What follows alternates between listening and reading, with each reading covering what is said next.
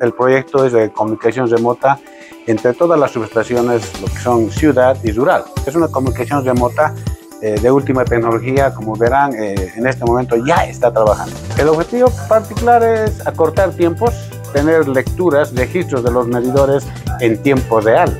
O sea, en este momento nos comunicamos con un medidor y podemos bajar toda la información y no solamente con un medidor, se puede colocar acá alarmas, se puede poner muchos, se puede dar otras muchas utilidades en función al requerimiento. Pero esto es exclusivamente eh, para subestaciones clientes grandes como las subestaciones, puntos de retiro que las utilizamos y otro es parte de la atención remota para residenciales.